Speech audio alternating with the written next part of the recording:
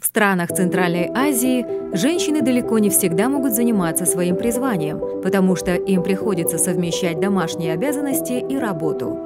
Разрыв в оплате труда между женщинами и мужчинами может достигать от 30 до 50% по региону за выполнение одной и той же работы.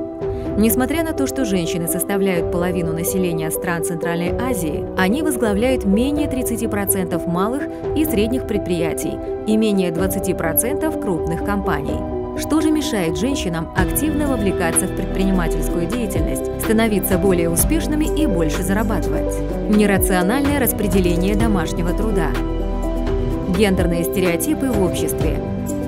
Сильное влияние патриархального общества – ограниченный доступ к финансовым ресурсам, отсутствие необходимой инфраструктуры для развития бизнеса, слабый доступ к региональным рынкам, слабый инвестиционный потенциал, низкий уровень образования и опыта в бизнесе, ограниченный доступ к информации, низкий уровень представленности женщин на уровне принятия решений – низкий уровень координации и диалога между госорганами, ОГО, бизнес-сообществом, незащищенность на рабочих местах, гендерное экономическое насилие.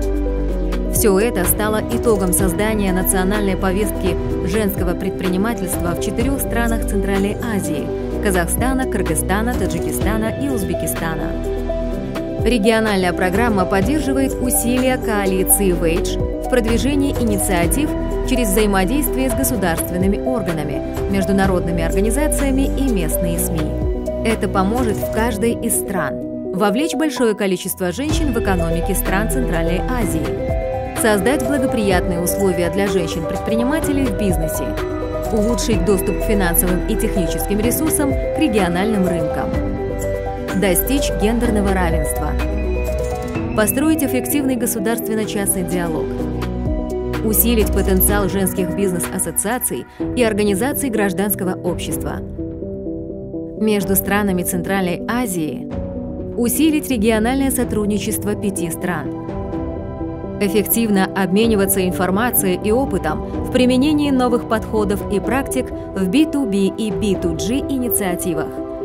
Укреплять дружеские отношения пяти стран.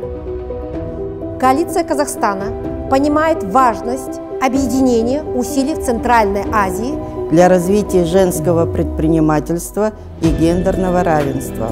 Мы, коалиция Кыргызстана Демиргелю Аймдар, признавая, что на сегодняшний день большое число женщин-предпринимательниц вносят вклад в развитие национальных экономик каждой страны в различных секторах экономики.